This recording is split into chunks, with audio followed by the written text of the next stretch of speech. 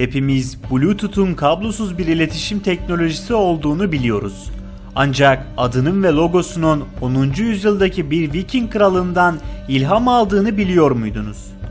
Danca'da Harald Blatant Gormsen veya İngilizce'de Harald Bluetooth Gormson olarak bilinen Kral Harald, 958 ile 986 yılları arasında Danimarka'da hüküm sürdü. Adı bilinen teknolojiye verilse de Danimarka'nın ilk Hristiyan kralının hikayesi çoğu insan tarafından büyük ölçüde bilinmiyor.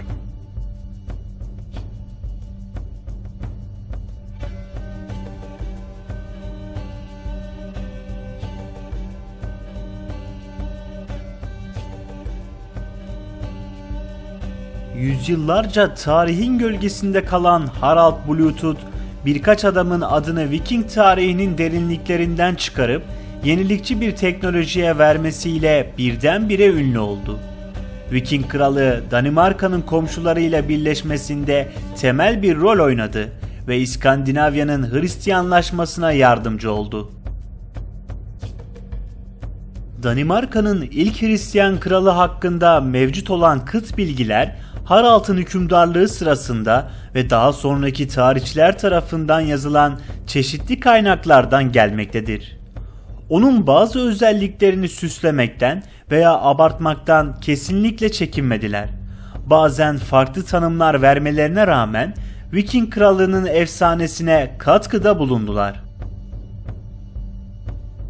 Harald, zihninin ve inancının gücüyle olağanüstü ama aynı zamanda bilgelikten yoksun ve büyük zekadan yoksun olarak tanımlandı. Birkaç tarihçi büyük savaşçı kralı övdü ve Harald'la oğlu Sweyn Fortbert arasındaki düşmanlık hakkında yazılar yazdılar. Gormson soyadından da anlaşılacağı gibi Harald, Danimarka ve Tira kralı yaşlı Gorm'un oğluydu. Muhtemelen 920 yılı civarında doğdu. 958 yılında Harald, bugünün Danimarkasını, Norveç'in bazı kısımlarını ve İsveç'i kapsayan geniş bir krallığın başında babasının yerini aldı.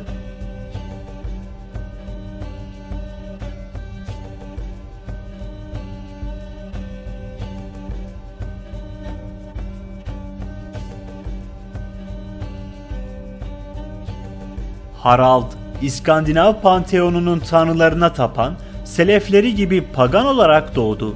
960 yılı civarında Harald, Danimarka'nın ilk Hristiyan kralı olarak tarihe geçti. Hristiyanlık 9. yüzyıldan beri bölgeye kademeli olarak yayıldığı için bu bir yenilik değildi. Yine de kralın din değiştirmesi yeni dini kalıcı kıldı.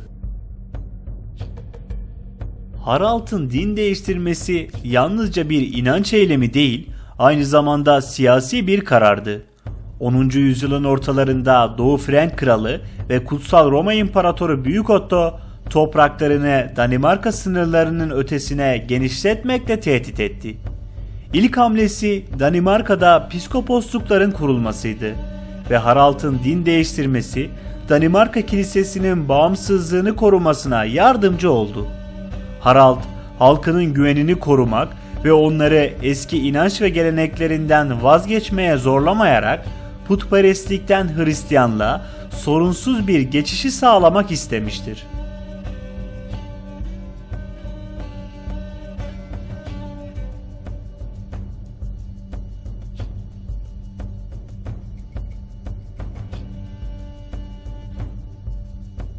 Peki Kral Harald neden Bluetooth olarak biliniyordu? Bu takma adın arkasındaki köken muhtemelen o kadar çekici değil. Harald'ın Danca'da adından da anlaşılacağı gibi mavi veya siyah görünen çürük bir dişi olduğu tahmin ediliyor. Harald Blatant Gormsen adında Bla adlı kısım mavi ve tant kısmı ise diş anlamına geliyor. Bu ayrıntı ile ilgili ilk yazı krallığın Hristiyanlaşması da dahil olmak üzere Danimarka tarihi olaylarını anlatan Latince yazılmış bir 12. yüzyıl Danimarka tarihi olan Roskildense Kroniğinde geçiyor. Yazar daha fazla ayrıntı vermeden Harald'ı tanımlamak için Latince blatan kelimesini kullanmıştır. Roskilde Piskoposluğunda dini disiplinin yeniden sağlanmasına yardımcı olmak için Danimarka'ya taşınan Fransız din adamı William Abeltold Kral Harald'ın mavi dişini ilk açıklayan kişi oldu.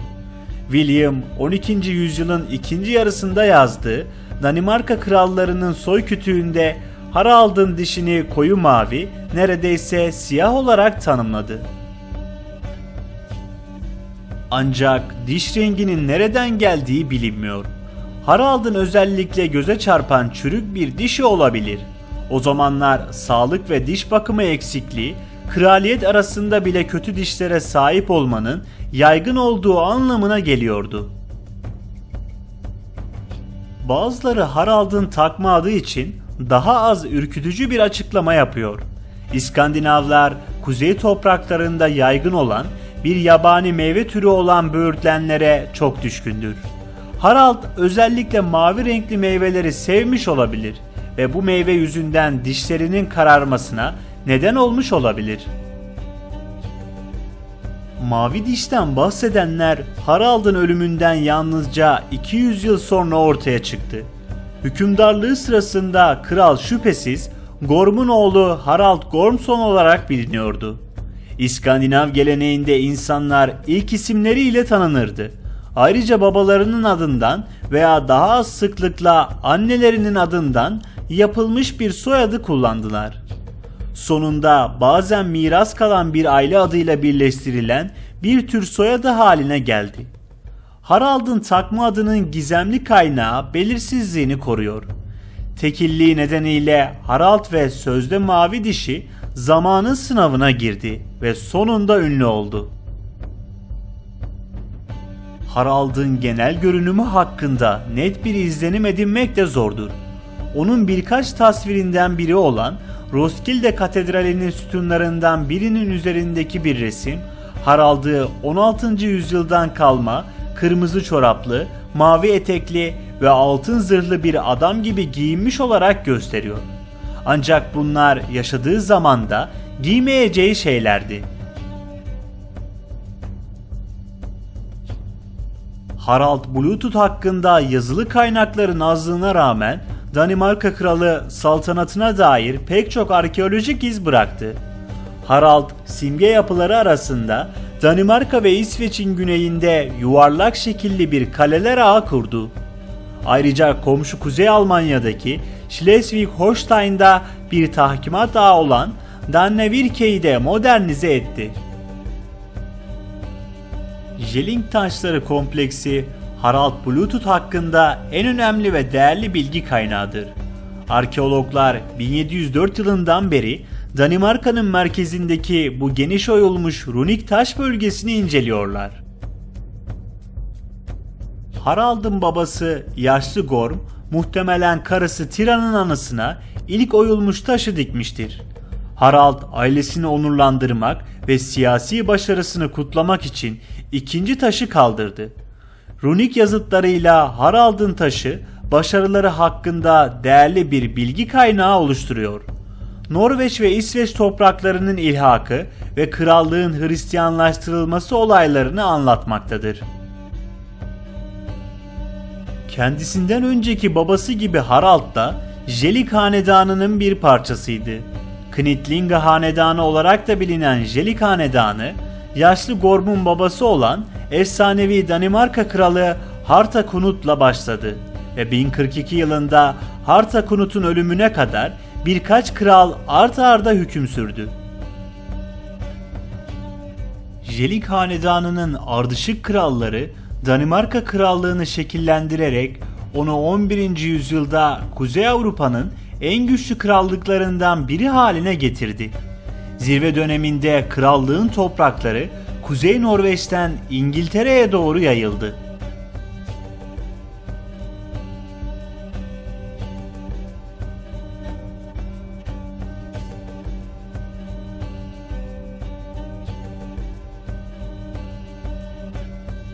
Uzun yıllar süren siyasi başarı ve geniş birleşik topraklar üzerinde güçlü bir güç kurulmasının ardından Harald Bluetooth'un saltanatının sonu oğlu Svein'in isyanıyla başlatıldı. İkinci sebepse bazı mutsuz aristokratlarla birlikte 980'li yıllarda kralı sürgüne zorladı. Baltık devletlerinin güney kesiminde bir yere yerleşti. Harald sürgüne gönderildikten kısa bir süre sonra öldü. Ancak günümüzde yeniden keşfedildi. Önce onu kendi ulusal tarihlerinde önemli bir figür olarak gören Danimarkalılar tarafından ardından onun adını taşıyan yeni bir devrim niteliğindeki teknoloji sayesinde diğerleri tarafından gerçekleşti.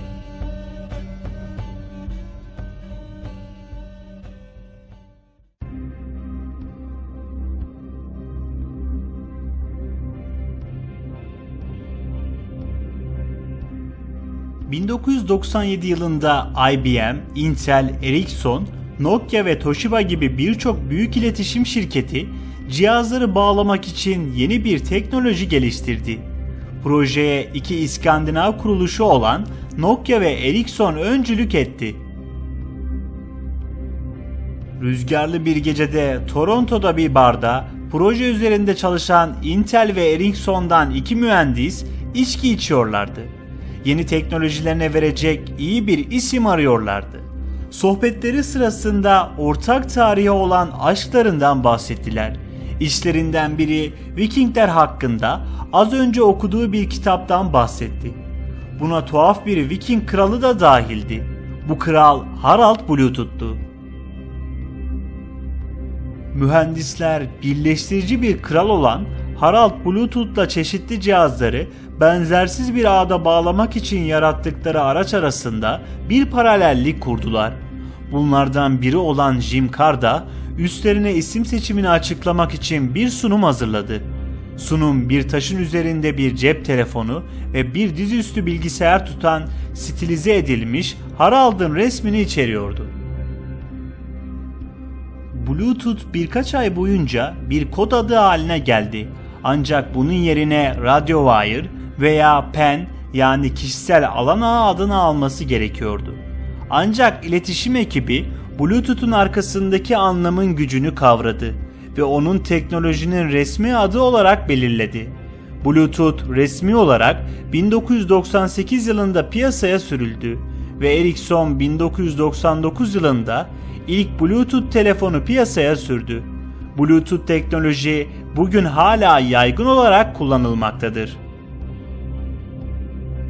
İlginç bir şekilde Bluetooth logosu da antik çağın sonuyla Orta Çağ arasında Almanlar ve İskandinavlar tarafından kullanılan runik alfabeden esinlenmiştir. Harald Blatant'ın baş harflerini birleştirerek mevcut logoyu buldular. Krallıkları birleştiren Kral Harald gibi Bluetooth teknolojisi de çeşitli cihazları birbirine bağlar. Ayrıca ürünleri arasında iletişimi sağlamak için farklı işletmelere liderlik edenlerin ortak çabasını temsil eder.